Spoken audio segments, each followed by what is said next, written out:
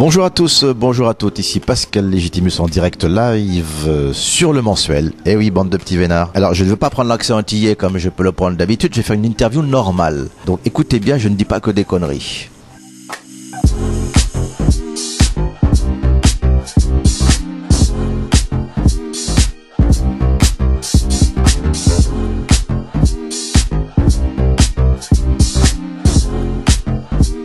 Le mot rodage, parce qu'en fait l'humour, on est souvent obligé à un moment donné d'y aller.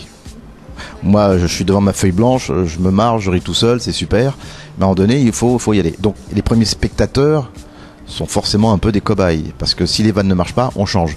Mais je n'aime pas ce mot-là. Donc j'ai travaillé le mieux possible pour présenter un spectacle semi-abouti. Mais de jour en jour, comme c'est un spectacle vivant, je change. D'ailleurs encore, euh, par rapport à hier soir, je vais changer des choses pour ce soir. Mais je pense que ça va être comme ça jusqu'à jusqu'à la fin jusqu'à la fin. Pendant les, toute l'exploitation du spectacle, ça va être comme ça tout le temps. ouais. Alors j'ai un peu d'expérience qui me permet. euh, euh, cette expérience me permet effectivement d'y aller plus sereinement, mais j'avoue qu'il y a encore des endroits où les gens rigolent où ce n'était pas prévu. Donc tant mieux. Mais euh, des fois on se dit ok, alors pourquoi les gens rient? Donc on analyse, on ingurgite, on retranscrit et puis on travaille quoi. Voilà. Pardon, excusez, euh, c'est lui. Légiminus, des inconnus. T'as la langue coupée en deux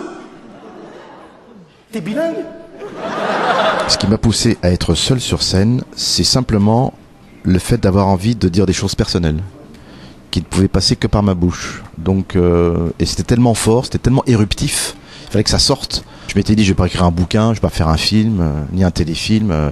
La scène, c'était parfait. Comme je suis un acteur avant tout, qui aime faire rire, je me sens plus acteur qu'humoriste.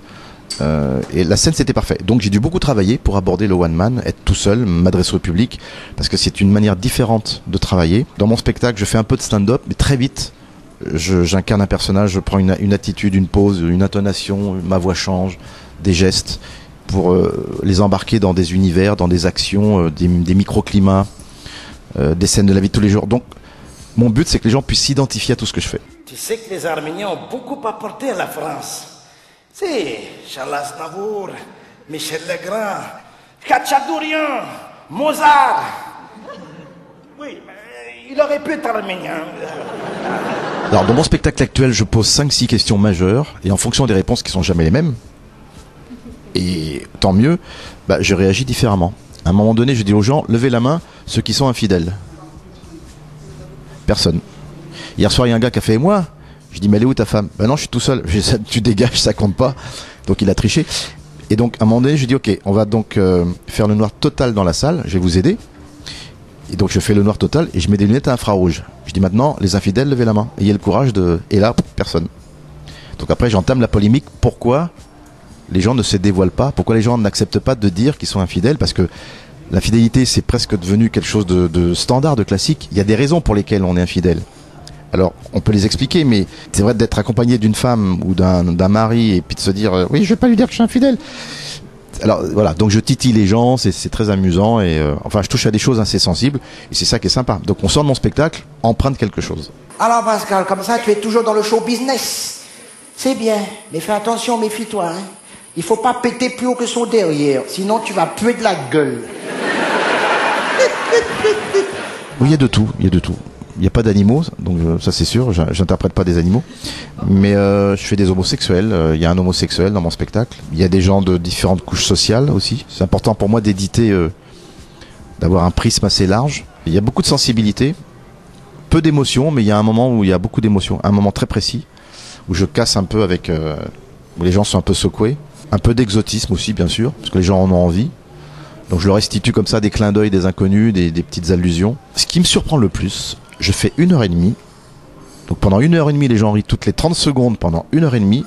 Et à la fin, on me dit, c'est déjà, c'est fini, mais c'est trop court. Je dis, bah, euh, donc c'est plutôt flatteur, mais je suis toujours un petit pas ennuyé que les gens puissent me dire ça. Voilà, donc euh, je suis désolé, mais ça prouve que ça passe très très vite. Non, mais ça passe très très vite en fait. Donc c'est tant mieux, tant mieux.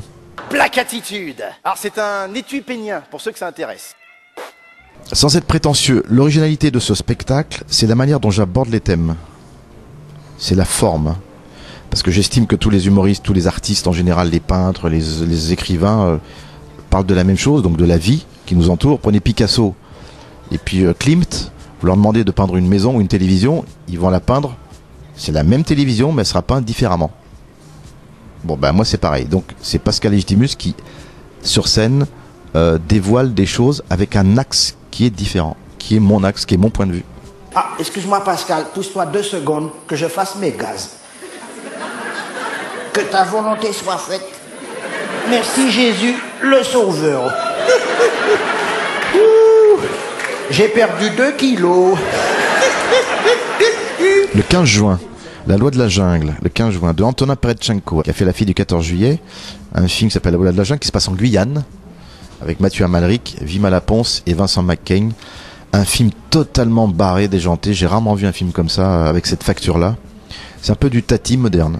J'aime bien passer d'une vibration à une autre. Comme ça, j'ai l'impression de moins m'ennuyer, effectivement, puis si on mange du foie gras tous les jours, on se fait chier, madame. Après, c'est écœurant, c'est normal. Non, mais un peu de cinéma, un peu de télé, un peu de théâtre, un peu de one man, un peu de publicité, un peu de synchro, un peu de doublage, un peu de dessin animé, genre. Pour moi, c'est la forme qui change, mais c'est le même métier. Mais ouais, je, je m'amuse, je transmets, je mets en transe, comme je dis sur mon Twitter et mon Facebook. Je, le but, c'est de partager, quoi, puis qu'il se passe quelque chose, de laisser une trace. Parce que faire ce métier-là en mourant et en se disant, bon, euh, et alors, c'est pas intéressant. Moi, j'y trouve mon compte je fais rire, pas que. Et les gens, euh, ça les bouscule un peu. Mais j'aime bien ça. Au moins ils se disent ah bah lui nous a appris quelque chose, euh, sans être prétentieux évidemment, mais lui nous a un peu tiens, hum, je trouve ça intéressant. Bon Pascal, tu veux un petit punch? Un petit rhum Non, pas de rhum, c'est trop tôt? D'accord. En tout cas Pascal, si le rhum te gêne dans ton travail, supprime le travail. C'est une question qu'on pose souvent. Comment se fait-il que les inconnus sont encore aujourd'hui d'actualité? Je ne peux pas répondre à ça, on n'a pas de recette. La seule recette que je puisse trouver, c'est de dire qu'on est des acteurs. Donc les personnages existent. Donc ils sont incarnés. Après, on prend des thèmes génériques, généraux, et puis on, mélange ça avec euh, euh, des choses assez populaires.